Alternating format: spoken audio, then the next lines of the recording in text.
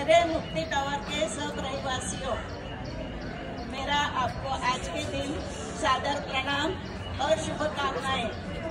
आज का दिन हम लोग क्यों मनाते हैं, ये सबको मालूम है। 15 अगस्त 1947 को अपना देश स्वतंत्र हुआ, ये भी सबको मालूम है।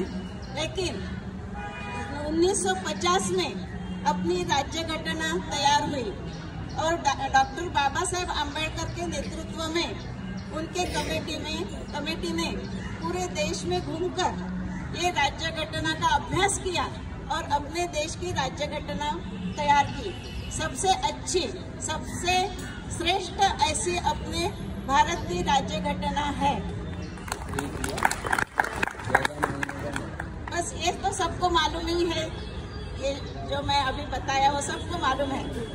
लेकिन आप लोगों ने मुझे जो आज सम्मान दिया यहाँ बुलाकर मेरा मान बढ़ाया। मुझे तिरंगा फहराने का मान दिया। इसके लिए मैं आपकी सबकी और कमेटी मेंबरों की आभार मानती हूँ।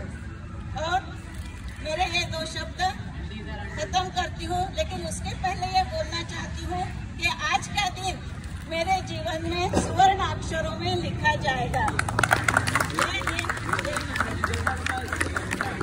धन्यवाद।